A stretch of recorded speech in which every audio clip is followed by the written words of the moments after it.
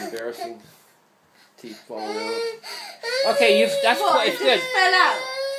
Yeah, I was eating, and it was gone, and I didn't even I swallowed it. I guess. Okay, listen. Stop crying. I'm leaving. I'm not listen. I'm not staying around here if you're gonna be crying.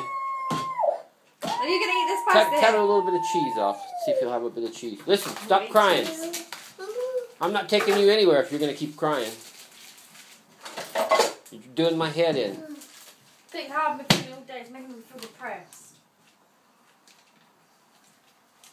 That's enough to begin with. Let's see if you'll eat it. Have some cheese. Okay, well, what is it you're gonna eat? You gotta have something to eat. He's just putting it on now. Peanut butter and jelly sandwich. Yeah, right, Dad. You will not touch that. A million years. What's that? You won't touch that. It's too flavourous for him. Two flavors. I thought he was a good eater.